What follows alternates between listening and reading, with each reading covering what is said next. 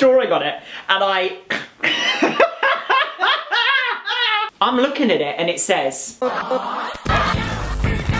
Good morning, men and women and other non-gendered folk. So today I'm going to tell you about the woes, the most embarrassing thing that happened to me at school. And it was embarrassing. But not for anyone else, because I had to conceal it. Girl, grab yourself a tea and a biscuit. Well, no, actually don't eat anything, it's probably for the best. The date is, I'm not sure. The year is, I don't know when. and I'm in year eight. My school is a school what else can you say about Pretty much, like you've got the bullies, you've got the non-bullies, you've got the pushovers, you've got loads of different types of kids, but you're quite young anyway in year 8. It's like your second year at secondary school. I know, there's like 30 of us in this class and you never mix groups. You're all in one group and you're not mixed. Mm. It wasn't until year 9 that you started going on to sets where you were like, you're top set, you're the dunces. We had this one class which was French. Now, I always remember French class. We walked in and there was a teacher who just insisted, as soon as he walked in, to be like, bonjour, bonjour, oh, no, no, no, uh, levez-vous la main. And I was like, what's that? Raise your hand. And I'm like, why? And she was a pushover, throwing chairs at her, you know, like that kind of teacher. I was a little, like, too scared to say anything, kid. You know, I was you were a pushover. I was a pushover. She could not control the class, so then she became overly strict. Like, to the point where if someone, like, stood up, she would send them out the class. If someone turned around to, like, ask your friend something, you were, like, put on report. She was that kind of teacher. Because she was so sick of people not abiding by her rules. She was a they give out the French books and they were so dated that the kids on the front were like, they, they used to play like CDs and cassettes and it was like, uh, j'adore les piscines. Mm. Do you enjoy les Piscine? I can't speak, I never listened so I don't know. I can't speak French. Yeah, and we're all like, what the hell's that? My kind of school as well was the kind of school where kids would have side hustles. You go to the kid that was selling sweets and they'd be like, it's mm. like pound for like a toffee crisp. We exposed one child in our school for doing it because he was buying out-of-date sweets and we all looked at it. We all asked for him for a refund, but of course we didn't have a receipt, so we couldn't get our money back. And I think that happens in every school. Except nowadays, they're not selling that. They're selling probably, you know, TikTok views or something. I don't know, something that has purchase, not just a pack of mints. That, that's the groundwork that I needed to lie before I start telling you the embarrassing story that happened to me. So it's a boring day at school. And when I say boring, it's one of those days where you have like double maths, double physics, and French, and you want to smash your head against the AQA French book. This is how bored I used to get. Mm. The light would come through on the desk and I would take a pen where the sunlight would be on the desk. I would put a pen here and mark exactly, I knew exactly when the lesson was over by when the sun was moving. So I made a sundial. Oh, oh that's it, so Like, because I was that bored. Yeah, and then next to it, it's like a picture of a willy. And I had nothing else to do. Apart from my work, I didn't want to do the work because that's boring. So as well as measuring the time with a sundial, because I'm in the 1800s. I think that's really cute. It's really geeky. It is really geeky, yeah. I think that's really sweet. I was, I was, also, as well as being bored, I turned to the girl in my class and was like, can I buy some sweets, please? So I bought these sweets for a pound. Did you? I bought these sweets for a pound, girl. Yeah, for that. They're like Wrigley's mints. Now, I don't know if you ever had Wrigley's mints, but they looked like little pebbles and they were like sugar-free and I was like, bashing through them as fast as I could through the lesson because I was so bored. It's what you do. It's like if someone opens a pot of Pringles, you never just have one, yeah? You eat the whole bloody pack. I'm using my sundial to check the time, listening to the Je m'appelle Francine. And I get a funny tummy and I'm like, oh God, my tummy really hurts. And it's the last 10 minutes. Now our teacher is so strict that I'm like, can I go to the toilet? She's like, no, even a girl would be like, I need to go to the toilet. And she'd be like, no. Uh, she just wouldn't let anyone go anywhere. Because she just thought people would just go out and just meander amongst the hedges and their friends and the cigarettes. I'm sitting there. I need the toilet, girl. And I'm like, oh, oh, I need to fart. It's like not your conventional, like, it was like a bubble fart.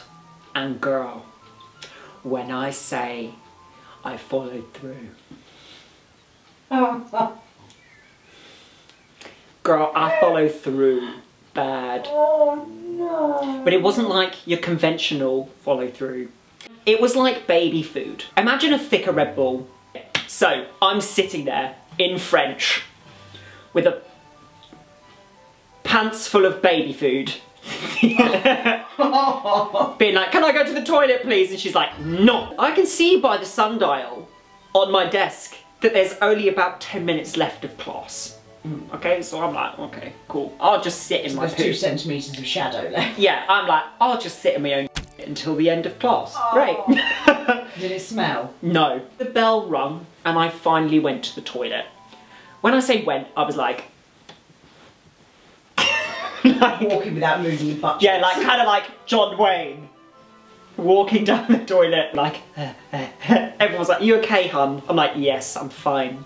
I just need to go to the toilet. Thank you for your concern. I get to the toilet, and now our toilets are like service station toilets. There's no loo roll anywhere. No loo roll anywhere. Apart from the ceiling.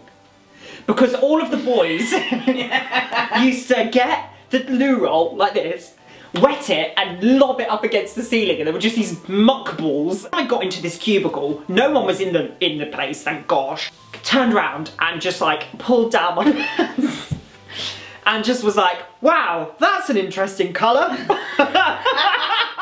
Yeah, because that would be your first thought. It was, it was, because it wasn't normal. I was like, wow, that's nice. I don't know why I've done this, because I've never done this. It's never happened to me in my life.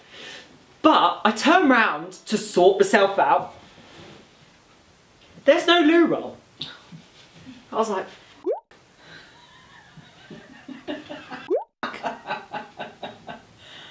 Oh, there it is. then I look at my bag and I'm like,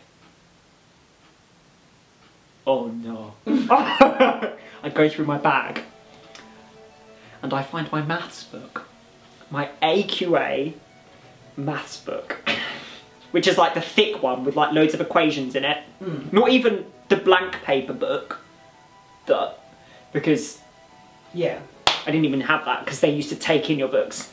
I take this book.